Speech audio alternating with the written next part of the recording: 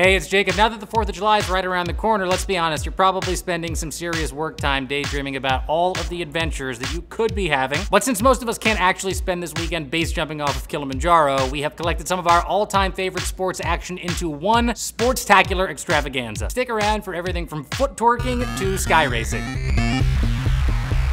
Some people like to rollerblade when they rollerblade. Others, like Chris Haffey, like to fly. He used to have to ski to get the big air he wanted, but then this publicly accessible ramp got built.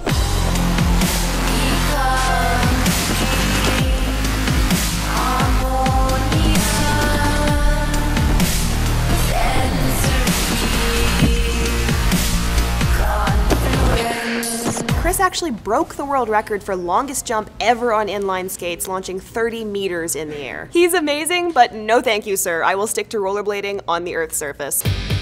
I've seen a million skate videos, but I've never seen anything like this. I shared it as soon as I saw it. They call this foot twerking in the description, but it's pretty much just doing unbelievable tricks on longboards that are so heavy they're usually only used for cruising.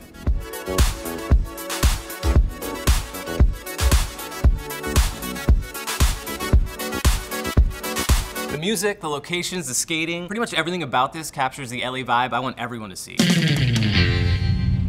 This is Mavericks, an invitation-only big wave event. It is one of the most famous in the world, thanks in part to Peter Mel. No, I'm not a maniac. I'm calculated in my risk assessment. He actually won Mavericks last year, and the newest episode of Peaking follows him as he tries to defend his title. I'm at the peak, I look at this wave, and I'm like, oh, this is it.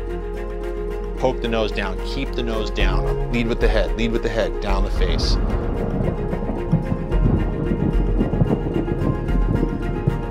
This guy's 44 years old. Do you think he can pull it off? Watch the video all the way to the end, and you'll find out.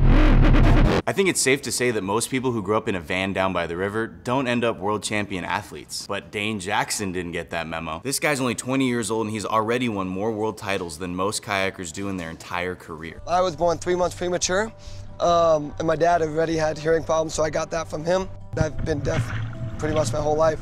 I'm very lucky to be able to have my main sport and passion to be kayaking, and kayaking also be my job in a way do for a living. After watching that, you're probably asking yourself, did he just go down that waterfall backwards? Yes, he did.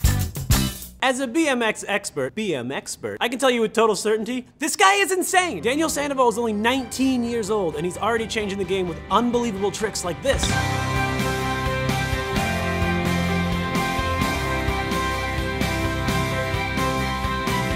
Does not have nearly enough views for how awesome it is. It is so cool! This is stuff you used to never see, and now he's just doing it like it's nothing. This next one is from Yannick Liebel. All videos of Devin Supertramp make me happy, like his newest, Sky Racers. Devin Supertramp is known for making awesome videos about living life to the fullest, and he definitely doesn't disappoint with this one.